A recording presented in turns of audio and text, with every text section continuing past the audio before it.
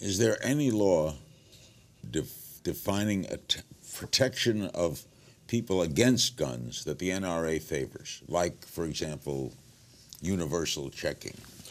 Is there any law you favor? Well, the NRA has has often worked with legislators to pass laws that will actually do something to, to prohibit violent crime. In California, the reason our gun violence rate is going down is because of things like three three strikes, 10, 20 life. I mean, criminal control laws work.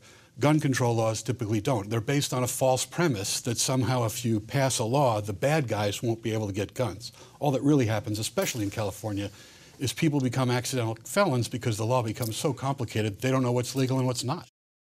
Watch new episodes of Larry King Now Monday, Wednesday, and Friday on demand on Ora TV and Hulu.